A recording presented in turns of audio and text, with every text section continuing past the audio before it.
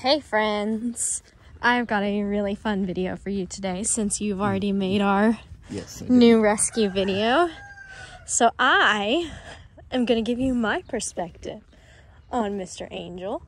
It is a very chilly day, but he has a lot of wool, so he's perfectly fine. He's still in the stall. We're uh, kind of that quarantine simmer down process for him right now. Hi, buddy. Hi. So if you haven't watched Ellie's video, which I don't know, eh, I don't, um, I don't know how many of my viewers are not also viewers of Ellie. Okay, I'm gonna stand over here while I'm talking. All right, so we went and picked up Angel from a really good situation yesterday. Um, he has people that love him, but they just can't keep him, and especially with him being special needs sometimes you have to evaluate the time that you have for special needs animals, and sometimes you just don't have it, and that's okay. So, Angel's getting his best life here. Um, we are going to respect his family's privacy and um, knowing that he came from a great situation is, and is coming to an even greater situation. I hope everybody has nice things to say because the people that we got him from are amazing. Seriously, really good people. But that said, Angel does have a disability, and it's a pretty hefty disability, but it does not impede his daily life. He just has to do things a little bit differently. So, Angel, when he was a baby, he was attacked by a coyote. How old was he? He was. I don't remember how old he was. He was like just a little baby. He was little. Um, and a coyote got him, and actually, I don't know the full details of it, but I know it got around his mouth and his neck, which caused his jaw. I don't know if it's like officially broken or what the actual like terms of it are, but his jaw is off centered. Now, sheep never would be a good animal to have here at I'm a Survivor Sanctuary. If you know anything about sheep, you would probably say that, except for like the exception of Sam the Ram that Kim has. He's a special sheep. Um, uh, this breed of sheep, they actually don't pull up, he doesn't pull up the grass. But other sheep do, and so that's why we've never had any sheep. Why me and Ellie haven't gotten any sheep, even though we've wanted them, because you know we're there's always people getting rid of sheep. Um, in bad situations and such, but we've never actually took on a rescue sheep before because they don't fit what our pastures can handle. They're like they're littles, so they should go with the goats, but they tear up the grass like horses and donkeys do. They pull up on it, which doesn't work in a little's pasture because in the little's pasture we need animals that are clipping the grass. Goats clip and sheep and horses they pull. And so when we heard about Angel, we are like, I would love to, but we need to go meet him first and talk about logistics with him. And so that's what we did before Christmas. We went and we met and we talked about him, and we found out that he's actually the perfect fit for us. So, because of his disability, he can't pull the grass, he can't grab small things like that. He can only clip, and even at that, it has to be really tall for him to clip. So, hay is a huge part of his diet and grain. So, that said, we're going to have to make some changes around here. Um, not with the hay. He'll always have hay, as you can see. Um, he really likes this hay as opposed to the alfalfa, which I thought was really strange. But um, his previous owner told me that he um, hasn't had alfalfa before, and he's been on this kind of coastal. Like sit. No, I'm fine. Um, coastal, whatever this, the horse hay is.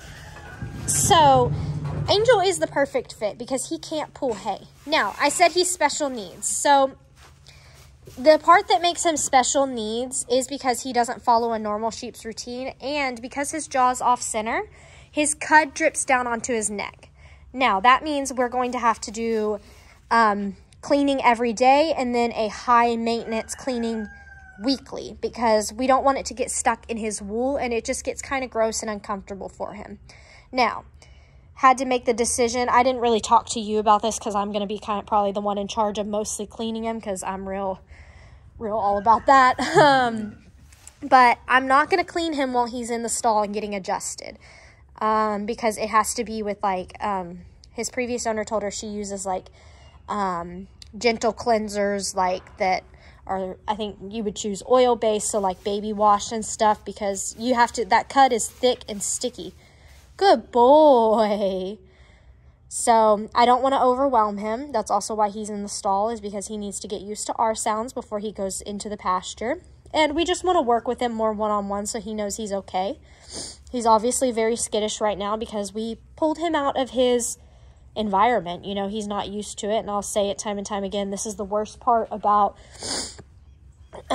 pulling animals is even though they might be in a horrible situation, we're pulling them from what normal is to them. And even if our situation is better, it's not necessarily that our situation is better in his case, but even if you think like the worst of the worst, like Stella, like even though her situation was awful, they pulled her from her normal. And so that took some adjusting, obviously. And even Ziggy, Ziggy came from a great situation, but he took a lot of adjusting.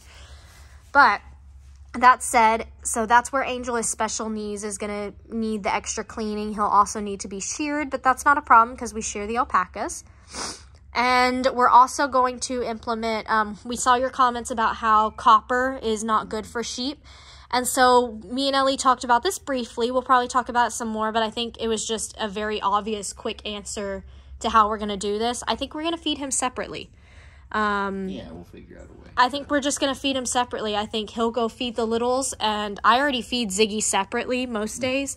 And so while I'm feeding Ziggy, Angel can come in a different pasture with me. He'll have his special sheep feed, and that way he gets a full tummy and he's not suffering because he does have a disability. And I'll feed Ziggy and Angel in a different pasture, and it'll Angel is still probably, if he were part of the feeder team, he'd probably still bully Hero over the food. well, we'll see. We'll see. We'll see how that goes. Okay, I'm gonna try to go up to him. Okay.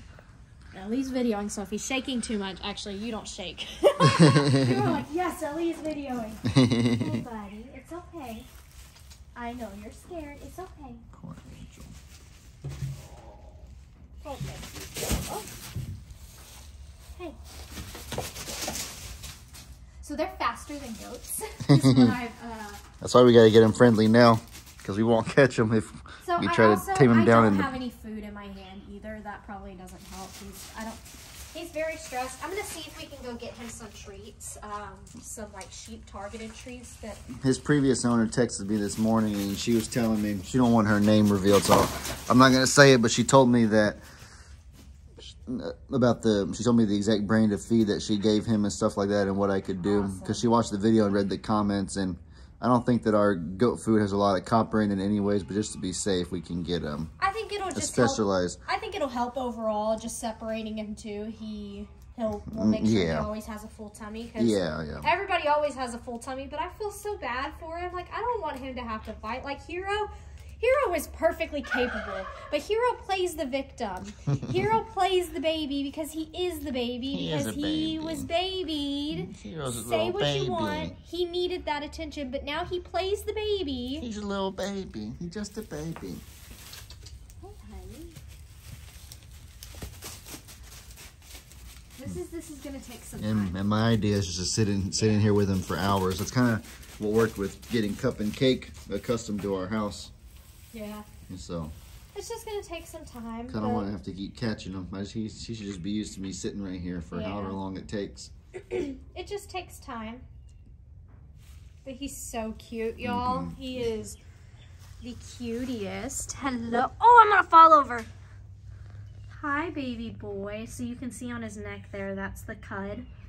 Um, that will get clean. Don't worry about it. Um, I just don't want to stress him out in his first. Slow and steady wins the race, you guys. Good boy. You gonna lay down? Are you trying to escape? I see a cat in that little. Did you see the movement, right? It's, it's yeah. definitely a cat. It's probably Olga. You said Olga was hanging out with them. Yeah, although came in here last night and she was She's trying to get warm. laying in all of his hay and stuff.